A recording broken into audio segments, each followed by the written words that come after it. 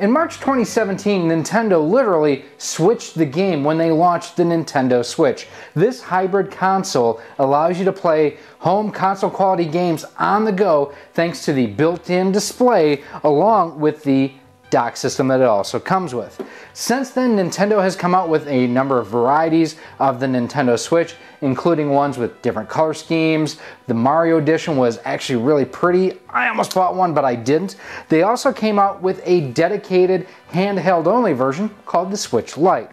Now, since both of those models came out, Nintendo has listened to consumer feedback and, well, they've switched things up yet again. And that is what we're going to talk about here today. This is the Nintendo Switch OLED, and this is designed to basically take the Nintendo Switch through the next half generation of consoles. And Nintendo has a, a habit of doing this. Going back to the original NES, you had the NES toaster, and then you had the top loader. You had the Super Nintendo, and then the Super Nintendo Junior. The N64 they had the fantastic colors that came out, and well, for most people, you didn't see a difference. The NS1 to NS2 serial number, which for the modding community, the NS1 model number, you can use Voultar's excellent RGB mod, and for NS2 numbers, you need other mods to be able to do that. The GameCube had a difference in the removal of the digital output. We know the Wii had the Wii and the Wii Mini, which the Wii Mini did not have backwards compatibility or online. Even the standard Wii, there was a version that removed the GameCube ports. The only one that really didn't see any kind of like midlife change to it was the Wii U. Hey everybody, Gary here with RoXolid Productions. Welcome to this episode here. One of the first ones in our new studio. As you can see, it's kind of blank on the walls. We are getting there. Make sure you check out some of our other videos, including our unboxing of the original Switch and the Switch Lite, where you can kind of see what we're going to eventually have up here. We're going to have a TV back here and racks with games and all sorts of stuff. So make sure you go ahead, hit that subscribe button too. That way each and every time we do upload new content, you are kept the most informed and up to date. And what I want to know from you here today, when it comes to the Nintendo Switch, are you interested more in the Switch OLED, in the original, or the Switch Lite? Let me know. Now, for me, looking at the Switch OLED, there weren't a whole lot of compelling features added to this model that really wanted me to upgrade or replace my original Switch or you know, my wife's Switch Lite. So what we're gonna do in this episode is we're just gonna go through and we are going to unbox this. We are going to do a separate video kind of going through accessory compatibility. We're gonna check out third-party Joy-Cons, third-party controllers. We are going to also check out things on the Switch OLED like the excellent Fixture Gaming S1 just to see if it fits. So we're gonna go ahead, hit the photo bench, and check this out. Let's go get started. So here it is. We do have the white version of the Switch OLED on the photo bench here now. Uh, they do have two color variants on here. We have this one here and then we have the red and blue. I went with the white simply because, well, my Switch has been white since 2018 is when I installed this mod on it and I'm really kind of interested to see how close this, and this is a BASSTOP case, looks to this here. Uh, and we are going to compare it a little bit to the original Switch and the Switch Lite. Uh, one thing I will say, this box is tiny compared to what the original Switches was. Um, the overall footprint, from my understanding, and we'll look at this again in a second, is that the Switch itself, same basic size, maybe a, a, tick wider, but this is a considerably smaller box, so good on Nintendo for that. A couple things here pointed out on the back is the fact that, you know, tabletop mode with the, you know, more robust kickstand, the TV mode with the new dock, and then handheld mode with the Joy-Cons and everything too let me know down in the comments. I have never once used the Joy-Con straps on my Switch uh, Joy-Cons. Let me know down in the comments. Have you ever used that yourself? So looks like you open it at the bottom here. And well, there's the Joy-Cons on the top. We'll pull those out for you. Pretty nice looking there. And then there's the right Joy-Con, which also has the IR camera in the bottom. I think this is our Switch itself. It is. And one of the things I want to point out, the back of the Switch is just black, or the Switch OLED that is. So the only color, quite honestly, is the Joy-Con. So between the blue and the white, the only difference is the Joy-Con color. The system itself, exactly the same. I'll lift that tray out of there. We do have manual safety guide in here. So here it looks like we have the dock. I'm gonna set the box aside as we pull additional accessories out. And yep, there is the dock. Now, one thing I have to say that I wasn't expecting, and you'll never see this, why is that not hinged? Okay, I don't like that. Nintendo, why did you remove the hinge? I don't, I don't like that. But this kind of has a textured surface to it where the original Switch dock was completely smooth. So uh, there are some differences there. And the hinge, Nintendo, why'd you get rid of the hinge? That I, I don't get that. Um, now also inside the dock, we're gonna lighten things up for you a little bit here. So here you can see the biggest improvement for many is going to be the integrated ethernet port way down in that tunnel right down there. You still have your HDMI output and you have your AC input, which is USB-C. So you do lose, again, bringing the original switch dock in. You do lose a standard USB port there and the HDMI is moved from the bottom up top. Uh, so there are some changes to the overall layout on the dock itself. Now looking face to face, and we're gonna have to put this back on because I don't like that. And then I, okay, that that's dumb. There's no reason for that. But let's look face to face if there are any differences here. And it does look like the new dock is slightly, ever so slightly taller. At least one lane, so I guess it would be wider, not taller. Uh, instead of having four little rubber feet, I don't know if anyone else, because I honestly have not watched anybody else's video on the Switch OLED. Uh, this is rubberized here, so a lot less uh, prone to slipping and sliding around than this one here. And yes, I do have my Super NES style faceplate on here where this is just Stormtrooper white. On this side, you do still have your two USB ports, the same as on this here, but obviously white versus black. And then they have redesigned the tunnel for the cables to exit where it's more of this half moon shape or quarter moon shape versus just kind of an L or uh, tetromino, shall we call it. Okay, so there's the dock. Next up in the box, we have an HDMI cable. These are like four to six feet long. I've got to say Nintendo's HDMI cables are actually pretty good. I like theirs a lot. They're, they're pretty beefy, they clear picture. I like them. Now, up next is the only power supply I will use with a Nintendo Switch, and that is Nintendo's own OEM power supply. It just, it's PD3 compliant. It's one of those where it just works. It works right. You don't have to worry about it. Now, if you are going to use a third party dock, just use this power supply. So I got to say about that. Uh, I think this is the Joy-Con grip. And it is, I don't think there's any differences between this Joy-Con grip and earlier ones. Um, I actually pulled my other Joy-Cons off the rails. I just want to see if this fits any differently and it doesn't appear to. Now, I am not gonna hook these Joy-Cons up to the Switch OLED simply because I don't want to pair these to the Switch OLED. I'm gonna keep these on my original Switch for the time being at least. And I have to admit, I'm not a huge fan of the Joy-Con grip or using the Joy-Cons as a Pro controller. I would honestly, there's so many really good third-party Pro controllers if you don't want to drop the money on a Nintendo one. The KMD one is one of my favorite. Uh, the Retro Gaming Labs one is excellent too. I've checked them both out. I will have links down below if you want to go ahead and check out reviews of either of those Pro style controllers for the Switch. Last thing in the box is going to be the Joy-Con uh, bungees or whatever you want to call them, just like what the Wii had. I never use them. I've never used mine at all. Now, one thing I do want to test out here is, like I mentioned, I do have the original Switch here along with the Switch OLED, obviously. I want to see, first of all, okay, that works. Beautiful. Now, will the Switch OLED fit into the original one? Now, one thing I will say I've noticed already, and yes, I have a third-party case, but having used this since launch, even with the original back on it, this has a bit of a textured feel to it, whereas the original Switch ones had a very similar slick feel to what this case I have here on. And let's see how this fits.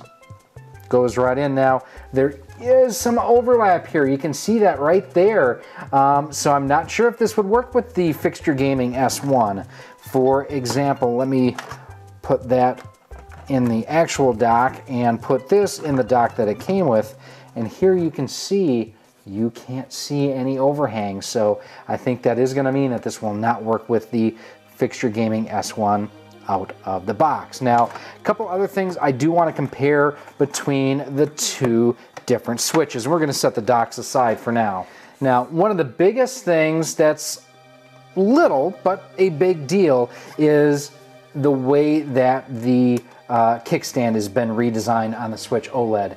This is very similar to like a Microsoft Surface or like I have a Samsung Galaxy Tab S7 and it has the same type of deal on the case. This is wonderful. It's infinitely adjustable. Uh, I can put it at whatever angle that I want and it's I can kind of tap on one side or the other. It's not going to flop over. With just the single little kickstand here, um, it's a fixed position. It's not the most stable. I've never had it fall down, but I don't play in tabletop mode a lot either. Uh, definitely a welcome, welcome redesign. And not sure if you can see it. Here you can kind of see the bezel on the side here. Uh, where they're almost the exact same footprint width-wise, but there you can see the bezel, and on here, much, much narrower. Um, I mean, it's kind of hard to see here with the lighting. I can definitely see the bezel is basically from there to the edge is the width. So very, very thin bezels on this, which is nice. Um, on the top, you still have your power button, which has been slightly redesigned from a round button to oval shaped and feels like you'll be able to get that a little bit easier. Volume rocker looks to be uh, redesigned slightly as well. The fan exhaust looks to be a little bit wider. Headphone in almost the same spot. The game card slot. Still kind of flimsy. Not a huge fan of that design, but I mean, it works. Um, and then finally, too, one of the things, the major things I would say between the Switch OLED and the original Switch, onboard memory on the original Switch, only 32 gigs out of the box this 64, so you do have twice the onboard storage. With both of them, you can add external SD cards like I have one here. I want to say it's a 128 gig, it might be a 256, but I'm pretty sure this one is only 128. And I have recently filled this up with all the downloads and whatnot that I've had. Well, I did on a recent Amazon sale, I picked up this 400 gig uh, micro SD card for specifically for this application, and I want to say I paid under 40 bucks for it on sale. I don't remember exactly what it was. Um, now they have changed the the layout of the SD card slot on here slightly. If I can pop this out without ruining it. So on the original Switch, it just went under the kickstand right there. On the Switch Lite, the micro SD card was right under here. On the Switch OLED, it's still under the kickstand, but it's going at a sideways angle versus up and down. And we are just going to drop our micro SD card in, click it in, we're good to go. Now, I haven't charged this up at all. What you've seen here is basically all of my experience thus far with the Switch OLED. Now I am going to go ahead and connect the Joy-Cons. Mmm. Much, not a stronger, but a more resistant click, I would say, than the original. It does feel wider, I will say that. It definitely does feel wider and we are going to power it on for just a second. I'm going to do a separate video on like transferring your data and whatnot, and I've already kind of done that on the Switch Lite. You can check that video out right up there. Um, very vibrant screen, even just the Switch, that's actually really bright. So popping the kickstand up there, and I'm going to turn on my Switch uh, original real quick, just so you can kind of get an idea side by side of the difference in real estate that the two displays have. And of course, that battery is dead, so I can't do that.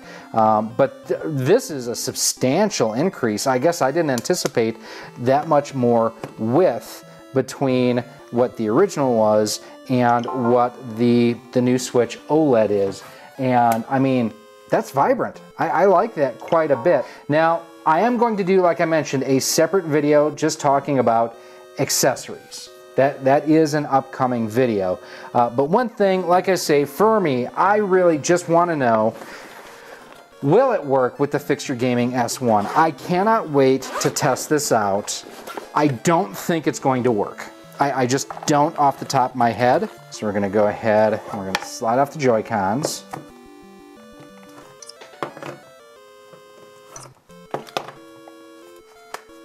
Now this is my fixture S1. This is the Founders Edition. And, oh, back. Yep. Will not work. That is a bummer. But word is the guys and gals over at Fixture Gaming who make the excellent Fixture S1, they are coming out with a new version for the Switch OLED. So that is good to know. We're gonna go through and finish our setup we're gonna wrap things up. So there you have it, our first look and unboxing of the Nintendo Switch OLED. What do I think of it? Well, it's interesting. Again, for me, I don't like playing the Switch, the original one, in handheld mode. For me, it's just been too wide, and this is even wider still. If handheld mode is a thing for you, if that's important to you, I would probably recommend trying and holding this before you buy it. For me, I find the Switch Lite a heck of a lot more comfortable in handheld mode than the original Switch.